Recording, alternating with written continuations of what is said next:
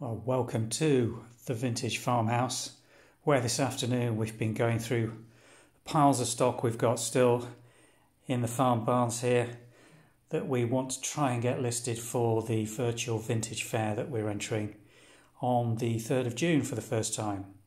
And we found some cracking pieces that we think you're going to love. Just look at this pair of oriental bird bowls and the detailing on these rims. Absolutely beautiful bits of china for display or use. And look at this, the glaze shine, lovely, good condition pieces. We've got a couple of soupiers.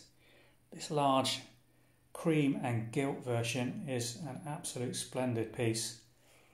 And the floral version in front of it, again, lovely detailing and colours on that pattern. Little blue and white sauce tureen with its uh, tray.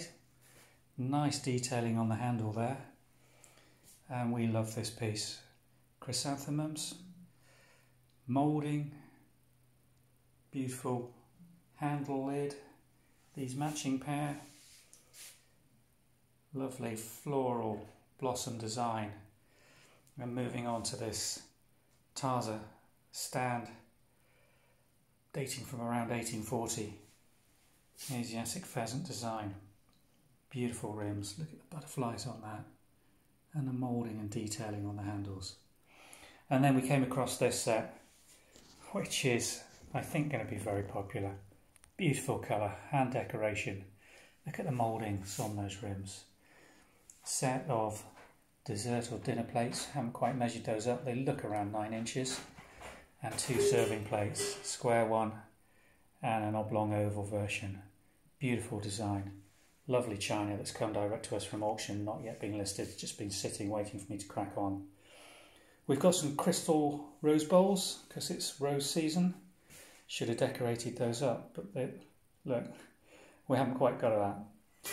Then we've got this lovely trug, collecting your flowers, gorgeous lantern, very special piece this, with its Art Nouveau brasswork detailing, lovely piece.